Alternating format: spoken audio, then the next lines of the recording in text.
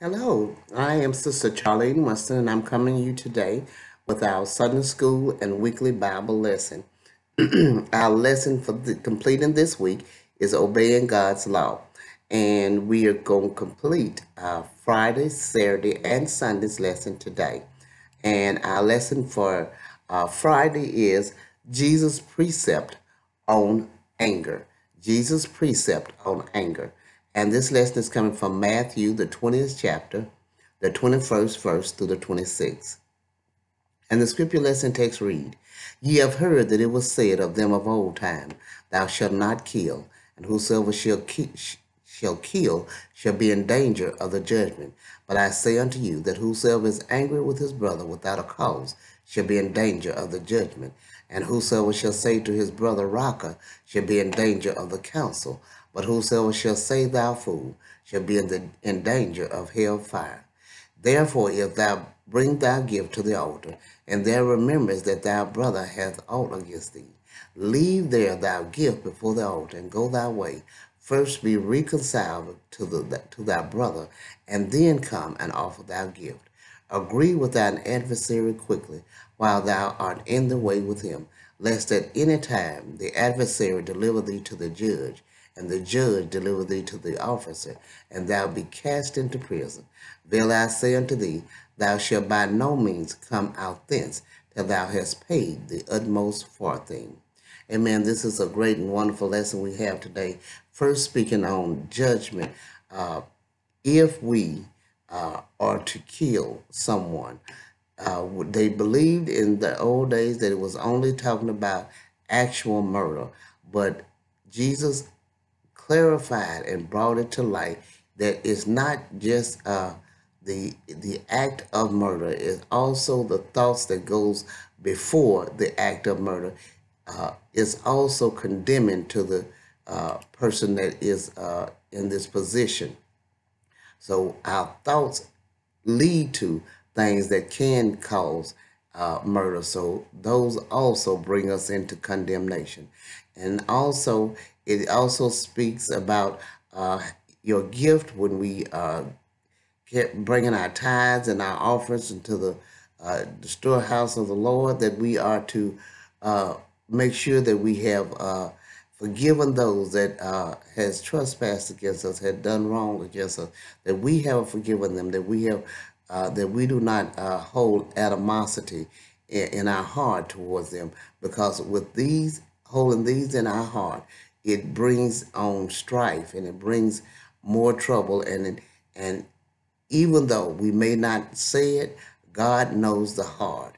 So when you come in to bring your gift to the altar, make sure you have prayed and and and, and ask forgiveness and even if necessary go to the when necessary go to the person and ask them forgiveness not only asking god but ask the person themselves for forgiveness uh, for uh, having animosity be, uh, uh over them and many times uh, i've found it to be a fact that people don't even realize that we are angry or upset uh, uh, with them. We walk away and we're thinking thoughts in our mind, and they know that I'm mad at them. They know I'm upset with them.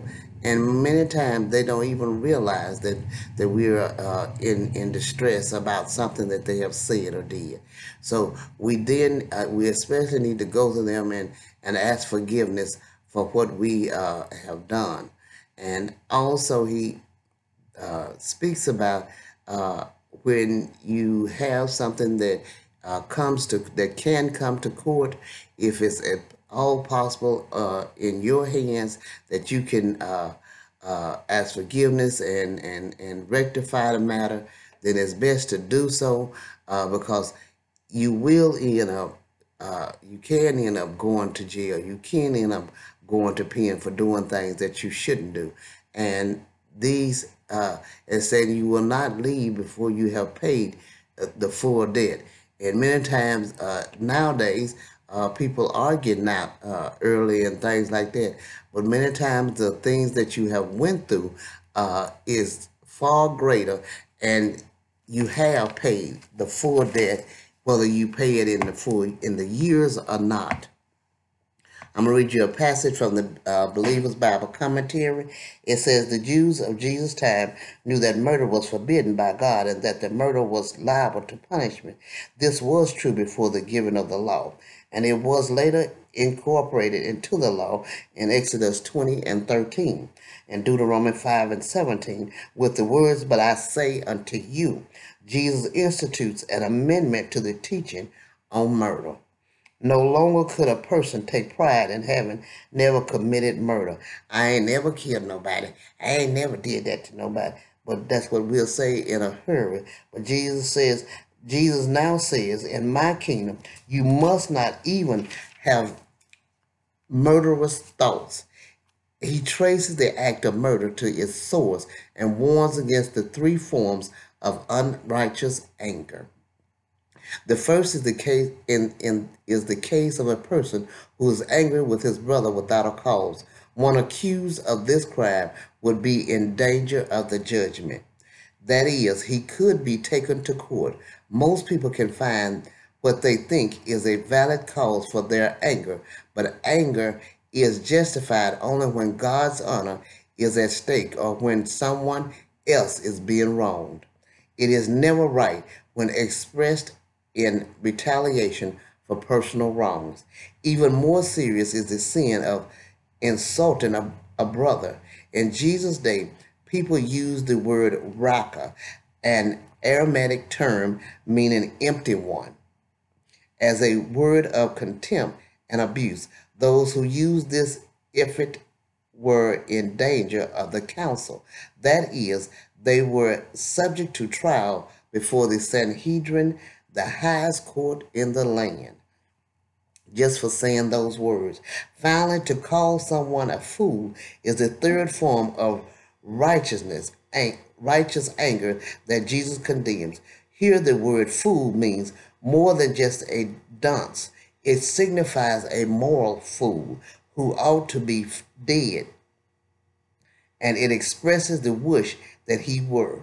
Today, it is common to hear a person cursing another with, with the words, God damn you. He is calling on God to consign the victim to hell. Jesus says that the one who utters such a curse is in danger of hell fire. The bodies of ex executed criminals were often thrown into a burning dump outside Jerusalem, known as the Valley of Hinnom, or uh, Gehenna. This was a figure of the fires of hell which shall never be quenched. There is no mistaking the severity of the Savior's words. He teaches that anger contains the seeds of murder, that abusive language contains the spirit of murder, and that cursing language implies the very desire to murder. The progressive heightening of the crimes demand three degrees of punishment the judgment, the council, and hell fire. In the kingdom, Jesus will deal with sins according to severity. If a person offends another, whether by anger or any other cause, there is no use in this in his bringing a gift to God. The Lord will not be pleased with it. The offender should first go and make the wrong right only then will the gift be acceptable. Even though these words are written in a Jewish context, that does not mean there is no application today. People in Paul interprets this concept in, in relation to the Lord's Supper. See 1 Corinthians and 11. God re receives no worship from a believer who is not on speaking terms with another. It is against a litigious spirit and a reluctance to admit guilt that Jesus warns here. It is better to promptly settle with an accuser rather than run the risk of a court trial. If the if that happens, we are bound to lose. While there is some disagreement among scholars about the identity of the people in this parable, the point is clear. If you are wrong, be quick to admit it and make things right.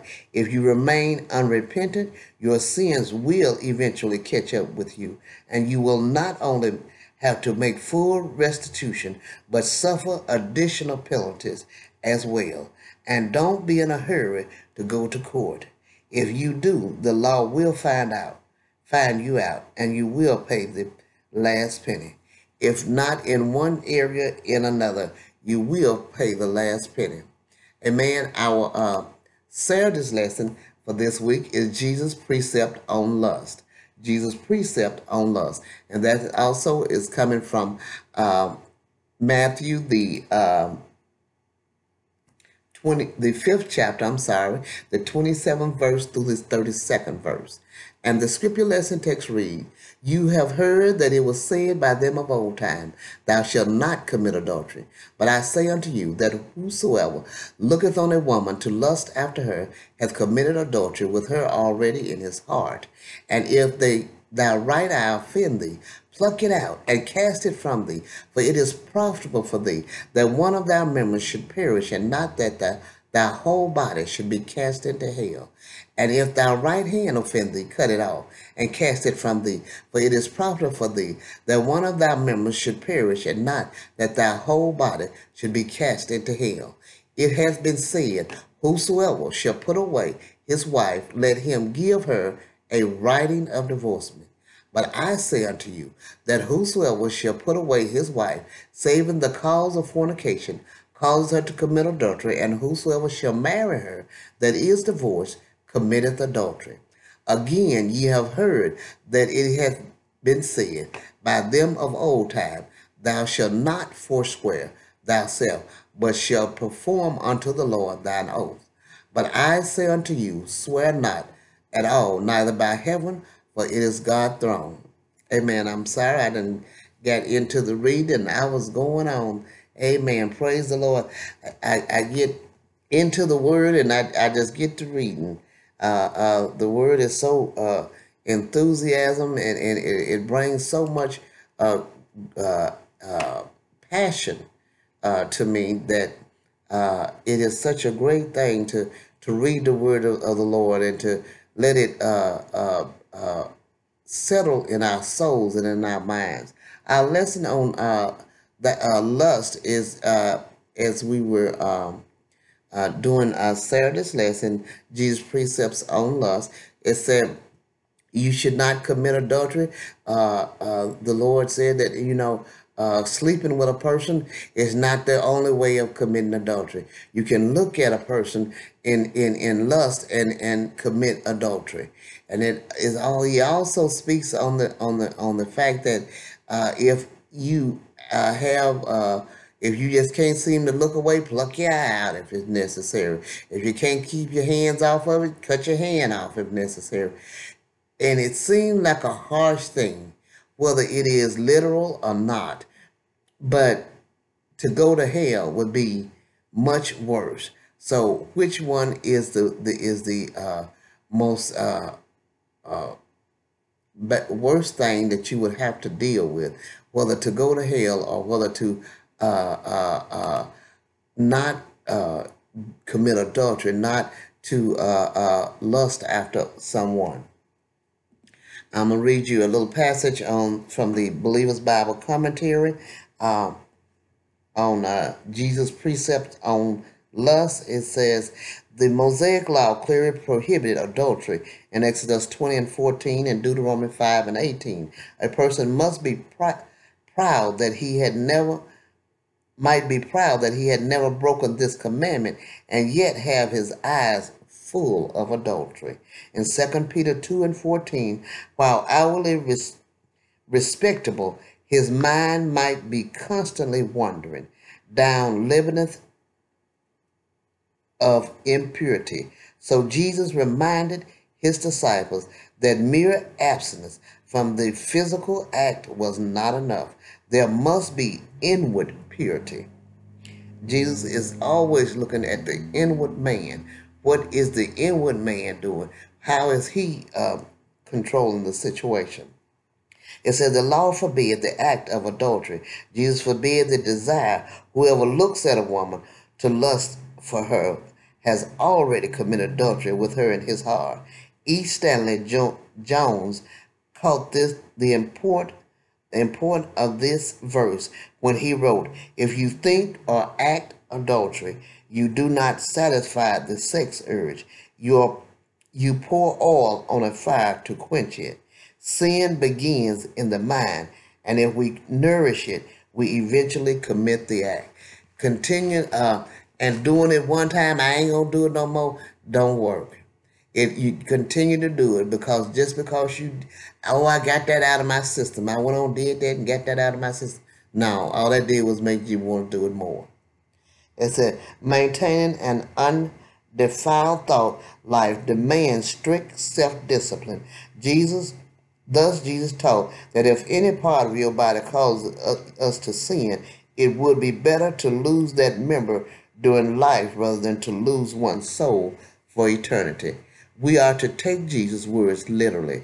Was he actually advocating self mutilation? The words are literal to, to this extent. If it were necessary to lose a member rather than one soul, then we should gladly part with the member. For fortunately, it is never necessary since the Holy Spirit empowers the believer to live a holy life. However, there must be cooperation and rigid discipline on the believer's part. You got to have a want to, to change. You got to have a desire to want to do different. It said, under Old Testament law, divorce was permitted according to Deuteronomy 24 1 through 4. This passage was not concerned with the, the case of an adulterous wife. The penalty for adultery was death. See Deuteronomy 22 and 22. Rather, it deals with divorce because of dislike or incompatibility. However, in the kingdom of Christ, whoever divorces his wife for any reason except sexual immorality causes her to commit adultery. This does not mean that she automatically becomes an adulteress. It's, it, it presupposes that having no means of support, she is forced to live with another man. In so doing, she becomes an adulteress. Not only is the former wife living in, in adultery, whoever marries a woman who is divorced commits adultery. The subject of divorce and remarriage is one of the most complicated topics in the Bible. It is virtually impossible to answer all the questions that answer that, that arise, but it may be helpful to survey and summarize what we believe the scripture teaches. The main thing is don't do it. Stay away from it. Uh, uh, stay out of uh, danger of hellfire. Amen. And our Sunday's lesson, obeying God's law. Obeying God's law is coming from Exodus 20, 18 through 26. And that scripture lesson text read, All the people saw the thunders and the lightnings and the noise of the trumpet and the mountain smoking. And when the people saw it, they removed and stood afar they was afraid. They was scared. Uh, they see this going on and they are, are terrified. But it said, learn to fear the Lord.